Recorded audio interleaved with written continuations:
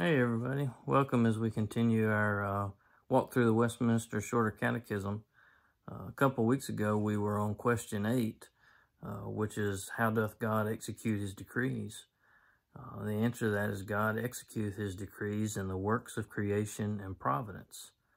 Uh, last uh, couple weeks, we've been talking specifically about his works of creation, about how God created made all things out of nothing. We use kind of a real world example to roughly relate to this in the building of a house. The physical building of a house could be something related to the works of creation or putting something together.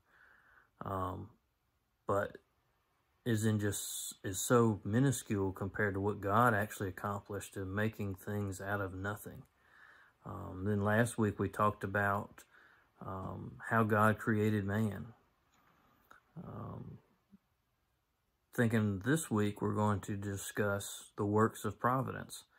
Uh, going back to that same uh, building of a house example, uh, once the house is completed being built, uh, the work's not done. There's still things to be done around it. It has to be maintained uh, through preserving and protecting it uh, from things like the elements, wear and tear, possibly animals.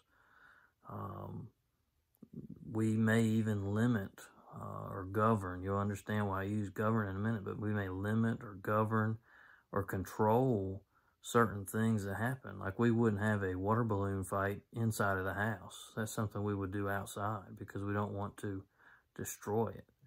Um, so that somewhat relates to the sustaining or control we would have um, very loosely related to God's control, God's uh, works of providence. And that's what we're going to talk about today in question 11, which is what are God's works of providence? Uh, God's works of providence are his most holy, wise, powerful, preserving, and governing of all creatures and all their actions. Uh, so in the works, in God's works of providence, he preserves and he governs. Uh, we're going to dig in a little more into both of these. We're going to start off with God preserves. So God preserves. Uh, in Hebrews 1 verse 3, it says, He upholds the universe by the word of His power. We talked about this the other day. Think of just the, the, the strength of the word of His power. I mean, this isn't like a muscular holding, holding this up physically by hand. This is just by his word. His word is that powerful. Um, in that, we realize that God is the one that really is holding us up. He's the one in control. Um, if it were not for God, all things would pass away. Uh, even Satan couldn't exist um, if God didn't sustain him uh, in his existence of the of the word of his power. Um, God is is with us all at the same time. If you've been with us during our uh, discussion on Sunday nights about the attributes of God, you've you've heard about this, heard this. Um, I'm gonna use a, a a passage out of Acts 17. It says, "Yet He is actually not far from each one of us, for in Him we live and move and have our being." So as Christians uh, we should be comforted by that. An example I think of is peacefully sleeping in the midst of a storm. We should be um, at ease knowing God is there to preserve and to keep us. That we're just, we're calm, we're sleeping in the, in the storms of the world. We're just that comfortable about it. Uh, so God preserves. He also governs. Uh, we see in Psalm 103, it says, The Lord has established his throne in the heavens, and his kingdom rules over all. Uh, God has complete control over nature. We see that in Matthew 5. It says he makes uh, the sun rise on the evil and on the good, and sends rain on the just and on the unjust.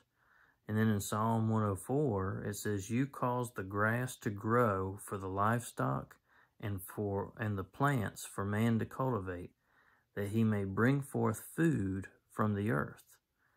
Uh, oftentimes we think these things may happen by chance, Uh, but the Bible says God has complete control. Uh, so we think of nature, uh, the large, think of a large thing as all of nature. Um, and then as we step, I've got a few more down. Each one of these is going to get smaller and smaller.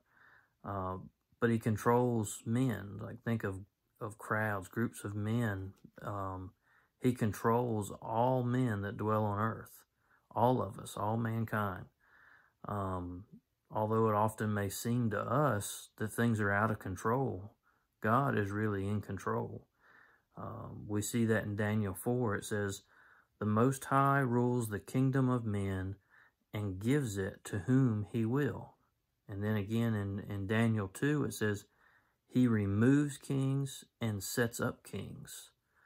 Uh, so again, it's not by chance that things work out the way they do. Uh, it's the Lord who has determined it. Uh, remember, His plan is set.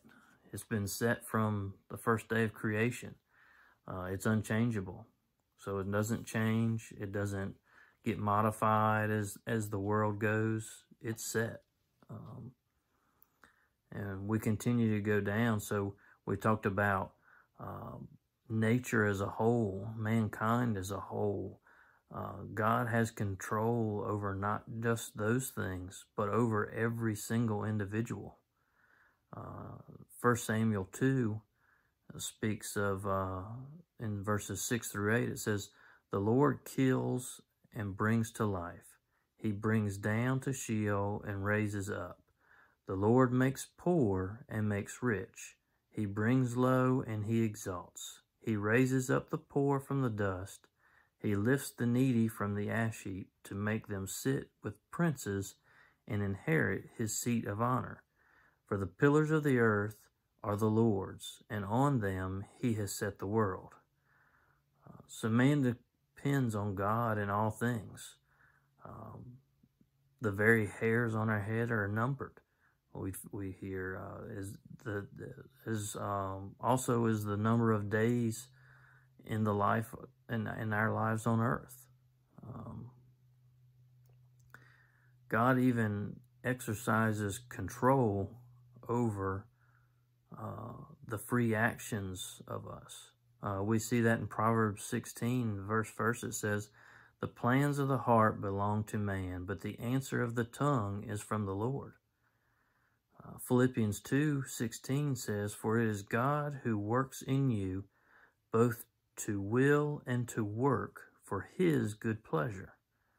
Um, when we determine in our heart what to say or do, it's God who determines.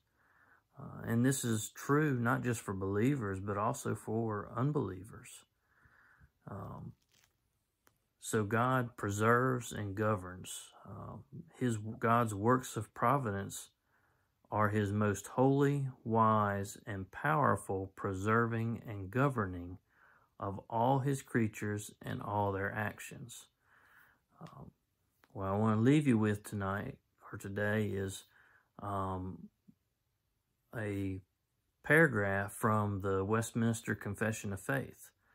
Uh, this is another document that was put together um, to help teach us things of the scripture. Again, it's we talked about this before. Scripture is the only um, true word um, that we are to follow. Everything else is held far below. Uh, the same thing goes for this. Um, it is rooted in the scriptures, and that's why we use it. But without the scriptures, it's just a piece of paper. It's just words it means nothing. So it's far, far below than than the Bible is. But we use it here, like I say, is it rooted in the scriptures is something to use for us. So what I'm going to read, uh, chapter 5 in the Westminster Confession of Faith is actually about God's providence. And I thought uh, the first paragraph in that actually went well with this question tonight. It says, God, the great creator of all things, doth uphold, direct, dispose, and govern all creatures, actions, and things, from the greatest even to the least, by his most wise and holy providence, according to his infallible foreknowledge and the free and immutable counsel of his own will, to the praise of the glory of his wisdom, power, justice, goodness, and mercy. So, as you think about this question, think about um, what are some things that God controls that maybe are hard for you to accept or believe, or maybe others, generally speaking, it's hard for them to accept or believe. Um, does seeing this question and answer and, and working through it um, help you to better understand God's providence um, and that God is in control here? Um, I hope that it does. And uh, I, there's a lot of deep things here and important things to know here tonight. And I, I, I pray that God has opened your eyes to, to see them, but I also pray that uh, and, and encourage you to, uh, if you don't completely understand or you're unsure what you believe or, or whether you accept these things, uh, talk to your parents about it. Uh, talk to me, talk to Ryan, talk to Jeremiah, or any of the other elders of the church. We'd be glad to uh, discuss these things further with you. Um, uh, hope you all have a, a good day.